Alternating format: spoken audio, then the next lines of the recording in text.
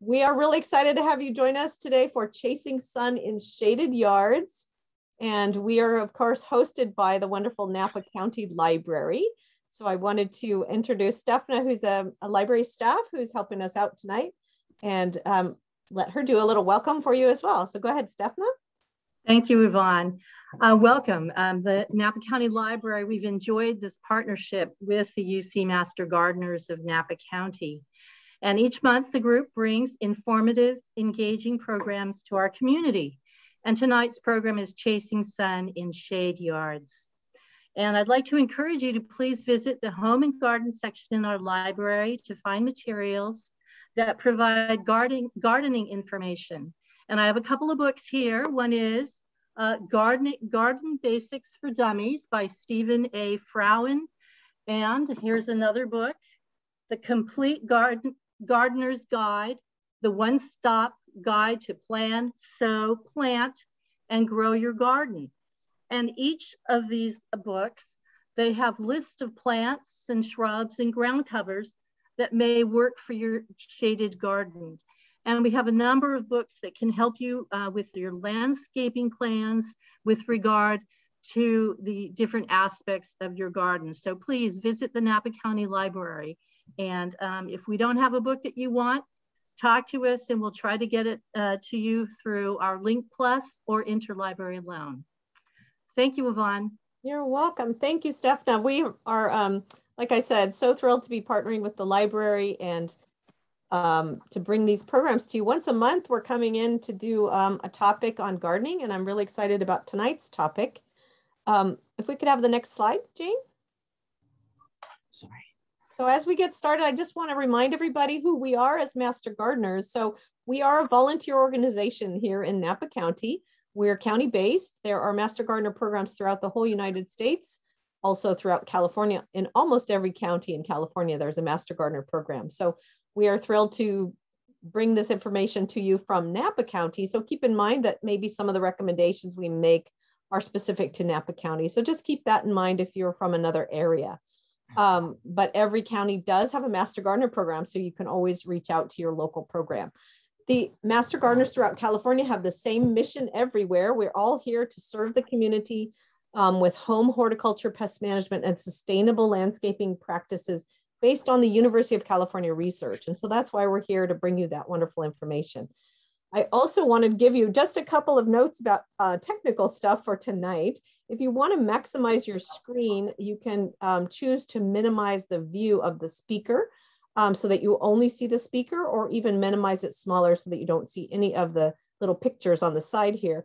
We're going to audio and video mute everyone during the program except for our speaker. And we do ask if you have any questions or comments, you put them into the chat and you can find the chat usually towards the bottom of your screen or at the top, depending on your uh, system that you're using. And um, I think we have one more thing to ask you before we turn your main program. So Jane, if I could have the next slide, please. Okay, so as part of our, our university research-based information and part of being part of the university, um, we are always trying to make sure that we're serving our public. And one of the ways we show that we've done that is by sending you a follow-up survey.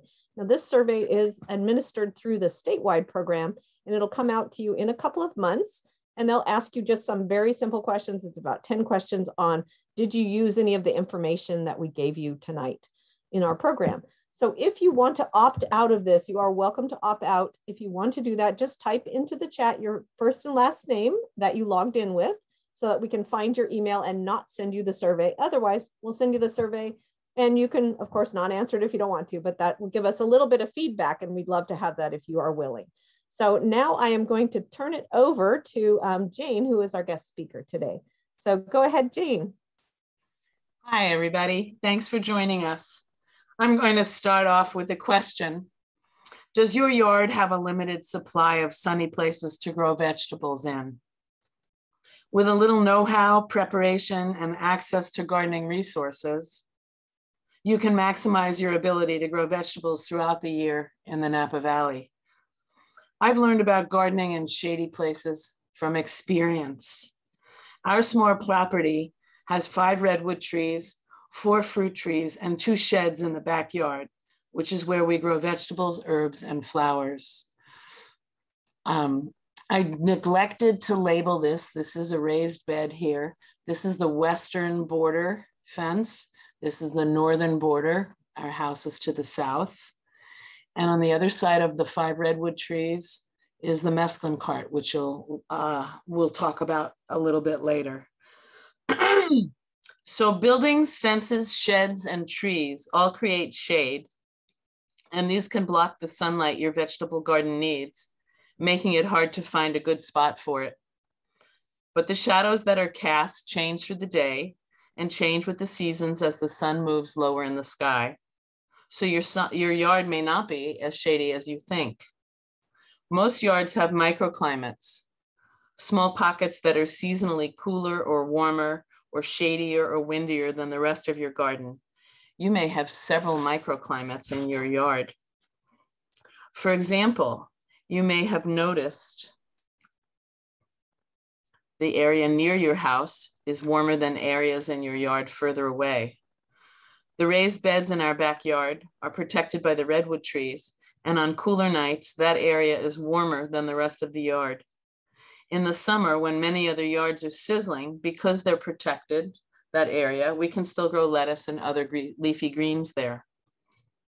Most vegetables grow best in full sun, but as we know, not all open areas will be sunny because of shadows from tall trees and other hard structures. That means it's important to know where the sunlight is going to be to better plan your garden. So the first thing, whoops. So the first thing to learn is where the sun will be in your yard through the seasons. Next, it's important to know the definitions of the levels of sun exposure and which plants do well in those levels. Lastly, we'll cover the overarching idea of right plant, right place, which refers to placing a plant in a location where its needs for sun and shade, soil and water are met allowing the plant to thrive and fight off pest and disease problems with minimal interference.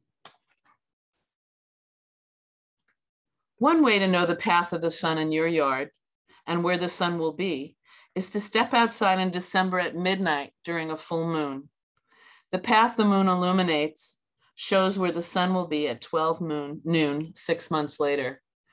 Now, I admit it's not that easy for me to even stay up till 10 o'clock, but a couple of times a year I make an effort to, to come out during the full moon at midnight so that I can see the miracle of our solar system. It's magical to see the illumination of the moon and know that in six months and 12 hours, that will be the sun shining in your yard. This year, the full moon in December is on the 18th. So you'll be able to see where the sun will be shining at noon on June 18th a very useful visual to keep in mind. You can actually do this at any full moon at midnight to see where the sun will be in six months at noon. But these particular dates of December and June are very useful for growing a vegetable garden. By the way, the full moon in December is called a cold moon. Did you know that all the full moons have a different name? In April, the full moon is called a pink moon, in May, it's a flower moon. And in June, it's a strawberry moon. For the rest, you can check space.com. Mapping your yard's sunlight and shadows is a long-term project. So if you have just moved onto your property or it's your first time planting a garden there, you might consider planting in containers while you continue to map the sun and shade through the seasons. Another way to know where the sun will be is to notice each week where the shadows are. You can do this on the same day each week at nine o'clock, one o'clock, and five o'clock.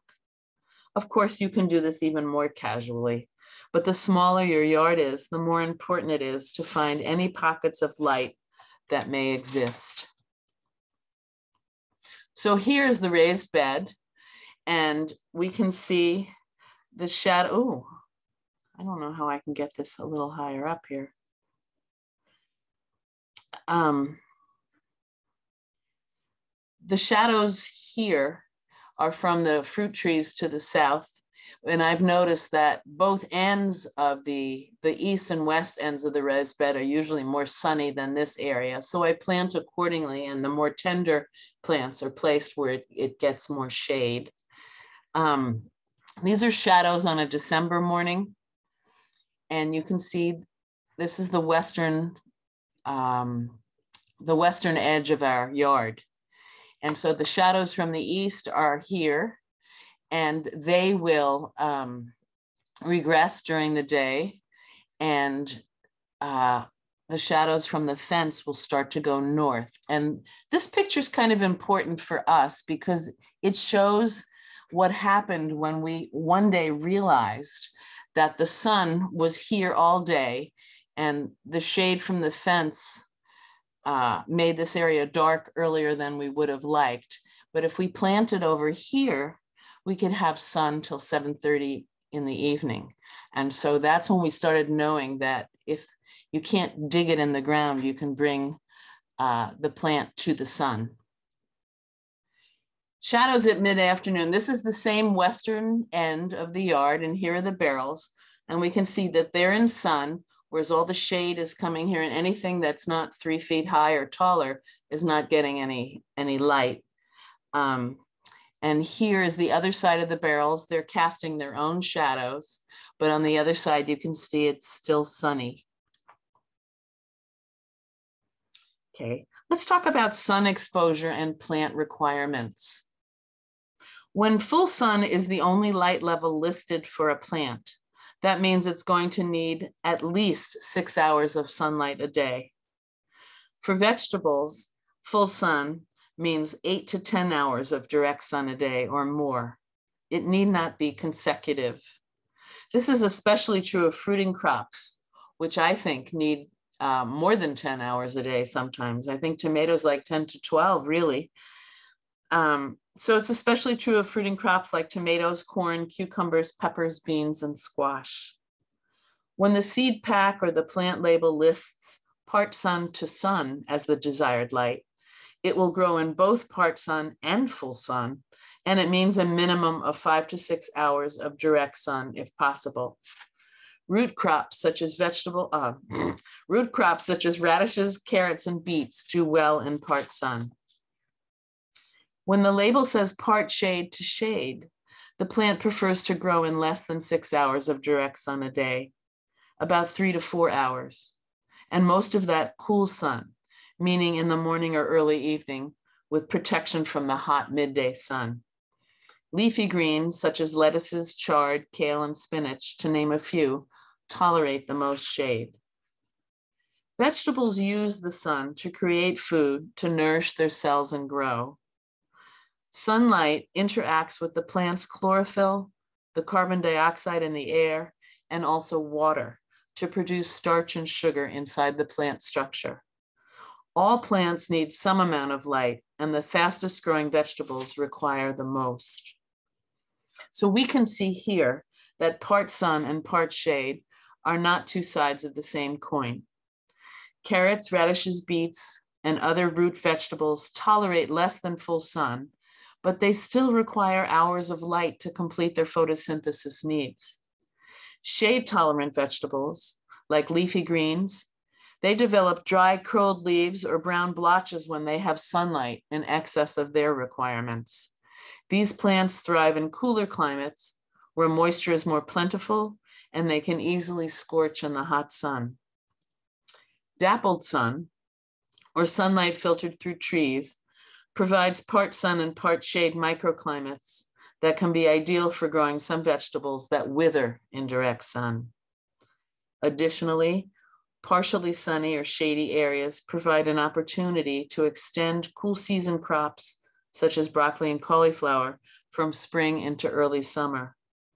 A little shade in late spring will help keep leafy greens from bolting as temperatures rise. You can also use plant orientation. Where am I? Sun exposure. We can also use plant orientation to provide extra shade for leafy greens.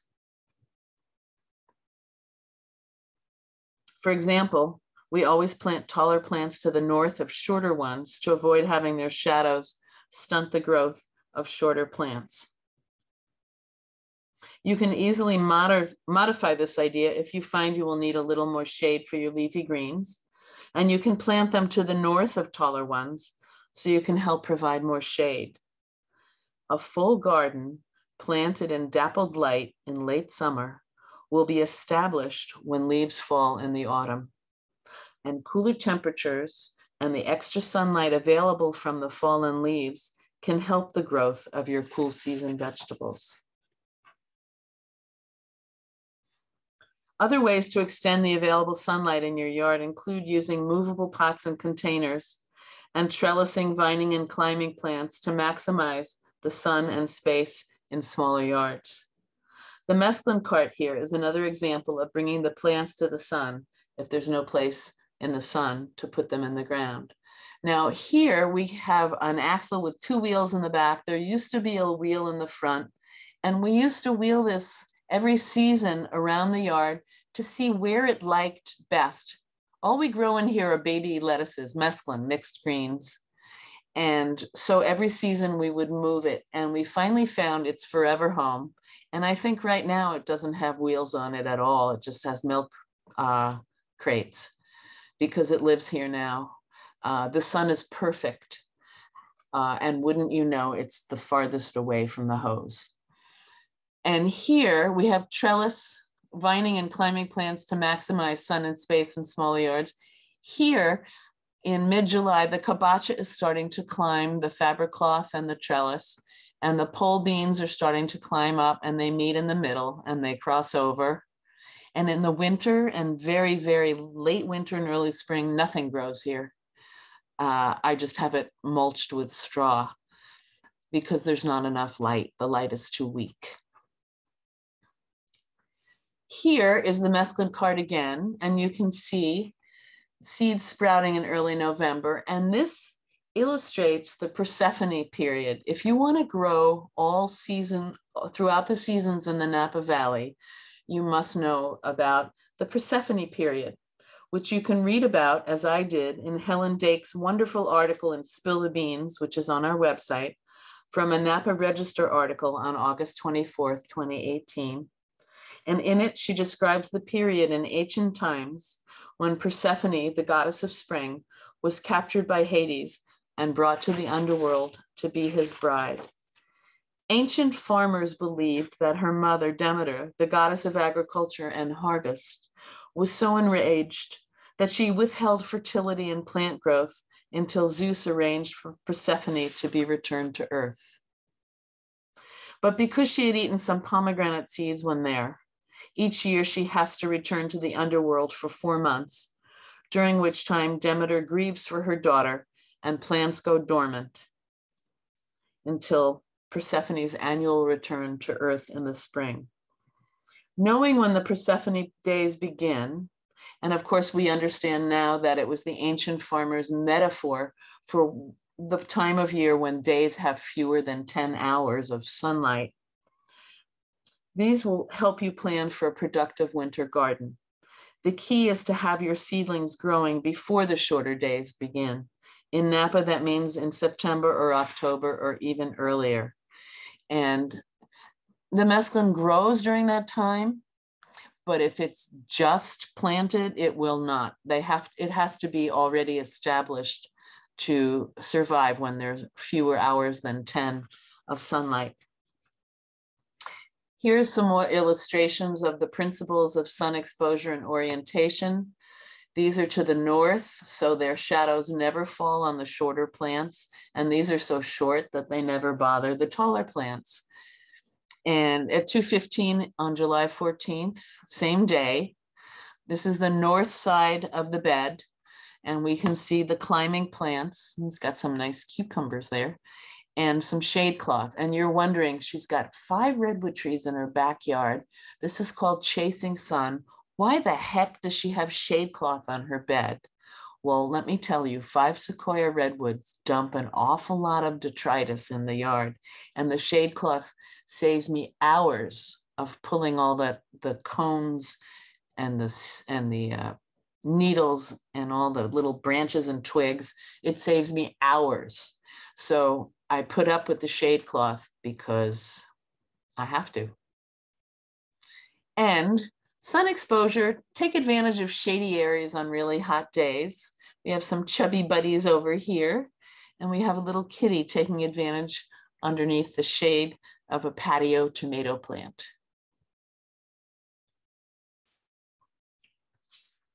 The philosophy of right plant, right place means to give your plants the conditions they desire and they will reward you many times over. Right plant, right place means understand the conditions you have in your garden, then look for lists of plants based on similar growing conditions. It means choose plants suited to the locations you plant them in. Healthy plants are better equipped to withstand any problems of pests and disease than those struggling with their environment.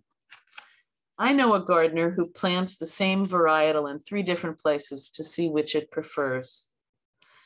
I don't have the space to do that, but I do tuck extra seedlings into spaces I think will suit them instead of always planting them in the same row. Your selected locations should meet plants requirements for sun, soil, water, and also spacing. Plants that are too close together don't receive their full allotment of sun, and lack of air circulation can encourage pests and disease. You can buy many seedlings at nurseries and garden centers, but for the biggest selection, check out nursery seed racks or order from seed companies and catalogs. So this is a mixture. I've got seedlings here that I've purchased, seedlings that friends have traded with me, and then there are the seeds that I've planted myself. Um, we discussed sun requirements earlier, and as you can see, seed packets and plant tags often give that information, although I find that seed packets always have more information than plant tags. But this one does, it has AM, sun, and shade. This one I find a little interesting. It's sea of red lettuce, and yet it says full sun. And full sun, it depends where in the yard your full sun is and how many hours it gets because you can fry your, your tender greens too. So um, full sun is a good theory, but you should read the rest of the plant, plant, plant packet to make sure. Now, we talked about sun, as I said, but soil requirements are more forgiving in that you can amend your soil to make it more hospitable for the plants you want to grow. So let's talk about soil texture.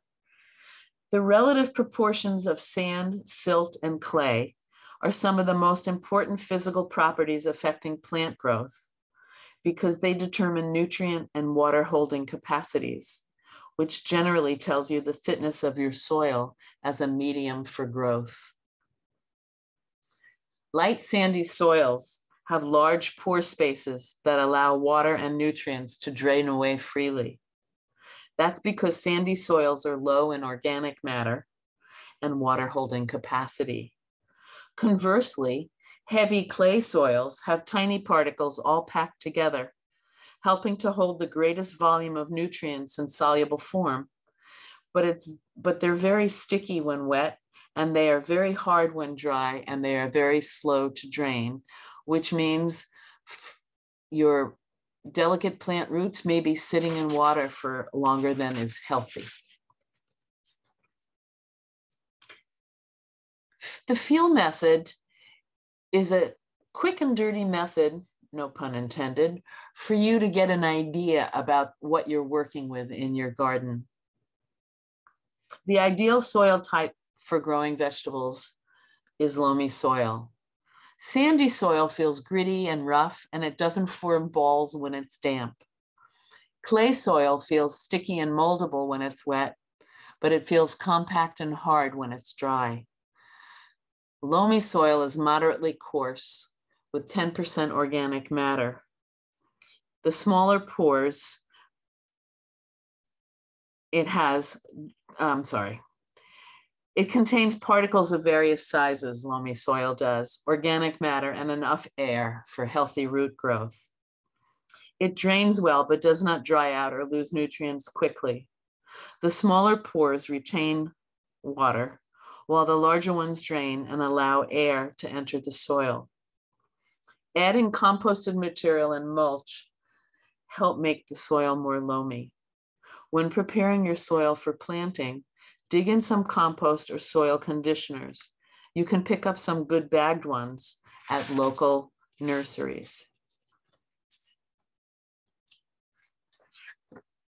Light, loose, well-amended soil makes it easier for roots to penetrate and retains nutrients and drains better. Raised beds are a quick way to start a vegetable garden. You can add light commercial topsoil soil and compost and mulch for good drainage, and the bed will warm quickly in sunny weather. After planting, which is what I'm describing here, these aren't raised beds. Um, after planting, add straw or compost or bark to the soil surface about two to four inches deep. This will help retain moisture, protect the soil from compaction, reduce erosion, and suppress weeds. So I have it here on the ground and also in barrels. We get bales of straw and my husband cuts them with uh, a saw and slices them. And so the pieces are a little more uh, manageable uh, to use as mulch.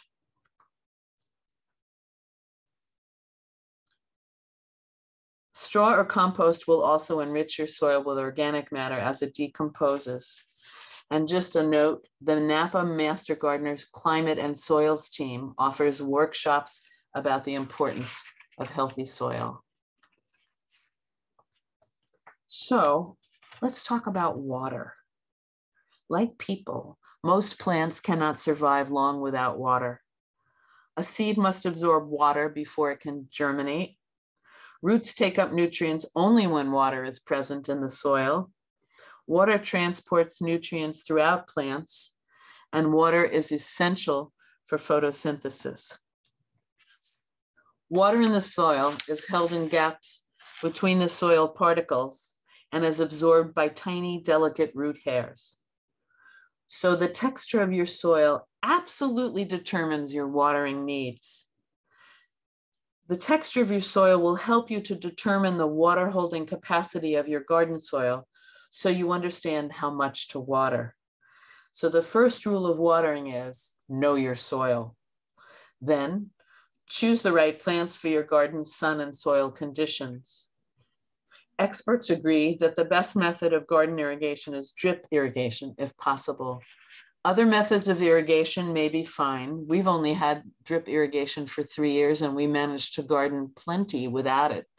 But if you ever have the opportunity to install it, you will be so glad. It saves so much time and it's very efficient. Efficient watering means putting the right amount of water in the right place when plants need it without excess or runoff or other waste. We are living in a summer dry Mediterranean climate that is becoming more and more prone to drought. So grouping plants in hydrozones where all the plants in one area have the same water needs is very helpful. The advantages of efficient watering are lower water use, less wastewater, and ease of watering. Remember to check your watering system throughout the seasons. Even though it is still hot in September, our gardens need only about 60% of the water they need in July in October, they need only 30%. This is because plants determine their water needs by daylight hours, not by temperature. Um, in Spill the Beans, Suzanne Rothenberg, Roth, Roth, has a fabulous article in 2019 uh, around the same time of year as the other one. I have the link at the end of this presentation, but it's called How Much Should I Water? And it iterates a lot of what I've said here, what I've found. And so I added it because she's a really good writer. Okay, so it's important to monitor our irrigation timing throughout the seasons so we can make adjustments as needed. And if we remember to mulch heavily, we can save 20 to 30 gallons of uh, per thousand square feet when we water. So here's just, this is before I mulched. This is just with the irrigation.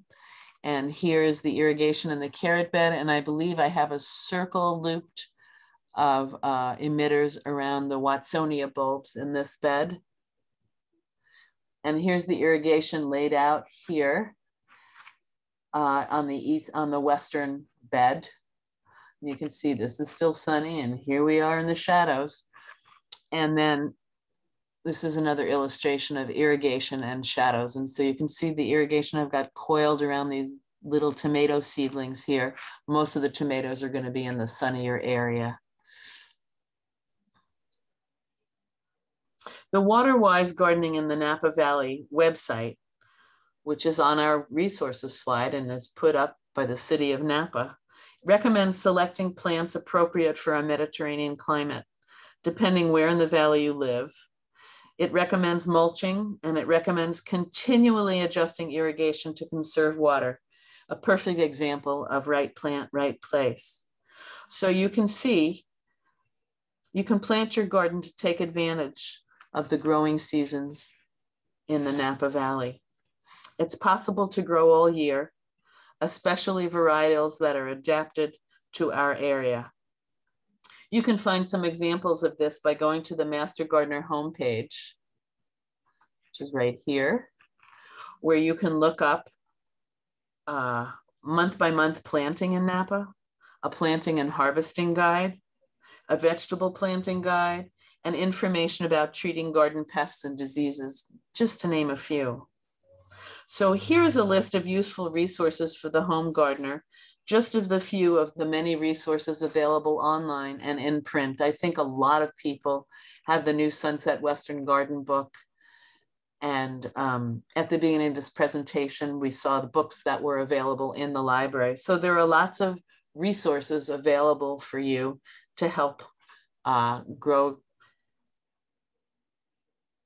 a garden through the seasons of the year in Napa. Yvonne? Oops, let me unmute. Sorry, muted. Um, uh, you can find this slideshow and all the resources. They'll be posted on our website. In um, it takes us a few days to get it edited and put up, but you'll find it on our website um, if you want to review anything or to share it with a friend we also want to ask you some questions. So we're going to ask you for your questions as, as you think of them. Um, go ahead and type them into the chat. But before we do that, I want to ask you um, a little question on a poll. Um, oh yeah, let's do that first, sorry. Next slide. So if when you go to our main website, you can find these resources that we've listed, the, the references of past workshops and other events that we've done. You can find them on our website. If you go to events, find us. And then on the events, find us page at the very top is references and slides, workshops and events. And this is where we post all of the recordings from our Zoom presentations. And we've had many of these over the last year and a half, as you well know. Uh, many of our Zoom programs have been posted here. So you can go back and review lots of great information. And before we go much further, I do want to, now I'll launch the poll. so we're just going to ask you a quick question uh, before we get into your questions is we hope that you've learned something tonight that's useful um, to determine seasonal sun and shade patterns. So the poll should be up on your screen. Just go ahead and choose yes or no. And I'll just give everybody a couple of couple of seconds here to answer. Okay, that's just about everybody. And, now I'm going to show you what, what you said. it looks like everybody found something to share and use on this program. Wonderful. The other part of that question is, since you did find something interesting, we hope that you're inspired. And so we wanted to ask you if you are going to use some of this information to change something that you're doing in your garden, maybe grow a new crop, maybe grow a new plant, plant something in a different spot, and if you have any of those kinds of comments, please chat, uh, type it into the chat for us because we'd love to know what you're going to try. um, in your garden after seeing this presentation. And we can go to the next slide, which is just asking if you have any further questions. So far, I don't see any questions. Any, any inspirations of what you want to do different in your yard after hearing this presentation? I have to say, I'm very excited to go out at midnight and look at the full moon and figure out where the sun is going to be in, in June. Anybody else going to do that? Go out at midnight? ah, here's a question. Um, any suggestions for softening hard clay soil? And we have some team members here who can chime in as well. Compost, mulch. I, you know, we used to hear about this famous elixir that fixes everything, and I think compost fits the bill. Any type of soil is benefited by adding compost, even just as a top mulch. The worms will work it into the ground for you. And I've seen fabulous things done by just adding a layer of compost every year to your soil. So um, it works wonders. And the straw mulch works really well. It lasts longer than the compost. So you can put the compost down and then put the straw over the top and you'll get rid of a lot of your weed problems as well. Um, so somebody is commenting, uh, never knew that water needs were determined by sun time, not temperature.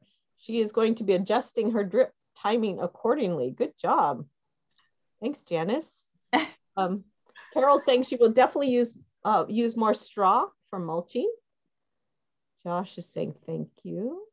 Uh, Bill and I are going to go out at midnight on the full moon. Sounds interesting. it is. It's fabulous. It, it is really fun. You know, we did a library presentation not too long ago about moon gardens and looking at the moon, uh, what shows and where the shadows are in your garden and planting plants that have white flowers or light foliage just to kind of benefit that um, oh, in the nighttime. Yeah, moon garden. Um, let's see. Terry says, I've been looking for this kind of help for a long time, and she's excited about watching the sun and the shadows. Oh, goody. Christine saying, uh, yes, the full moon fact is very cool and interesting. Um, we're going to try our, Candy is saying, we're going to try our luck with spinach and carrots during this season. Um, is a hoop house recommended or just for the spring and summer for spinach and carrots? I don't think you would need a hoop house, would you? You think they're going to get frosted? Maybe the spinach. Yeah, the spinach might. But they kind of like the colder weather, don't they? A lot of our, um, I know a lot of the cole crops, things like um, cauliflower, broccoli, kale, and those crops, this does not include spinach, but um, some of those crops actually are improved with the cold temperatures. They actually get more sugar in their content because it's their antifreeze. And so right, when right. the cold nights, all of your um, your cole crops will actually taste sweeter and be better after we have a couple of cold nights. So I'm very excited to harvest some of my broccoli that's now fruiting. So, um, but I don't know. Um, I know some of the lettuces are a little bit tender and might need some protection, but hoop houses are, they can get very hot during the day um, if you don't lift up the sides and let some of the air get in too. So you do have to be careful with that. Right now we're having very cold nights, but very warm days. So you can really burn plants if you've got too much cover on them. Um, somebody's asking, Christian's asking, what was the watering percentage difference for October and December in comparison to summer? I think uh, 60% of water in October that you need in July. Mm-hmm. Yeah, July is like 100 Wait, wait, wait. 60% in, in September and in October, they only need 30% of what, what you give them in July. I don't know about December. I didn't research that. and and I think it may be um, as we go into these drought years that might be you know often you don't need to water much at all in the winter because it's so cool and very low sun um, exposure plants don't need a lot of water but as we go into these drought years you do need to do some watering during the winter it's yeah as the water table gets shallower and shallower Yes, and I've noticed with my um in my raised beds where I have some seeds that I planted because they're so shallow, I needed to water them very lightly, but I needed to water them a couple of times um, during the week just to keep them moist. So right, and when the roots are are longer, then you can water them less often and more deeply, as as we noted earlier. with the irrigation uh, slide. Thank you, every lots of good questions. Thank you, everyone.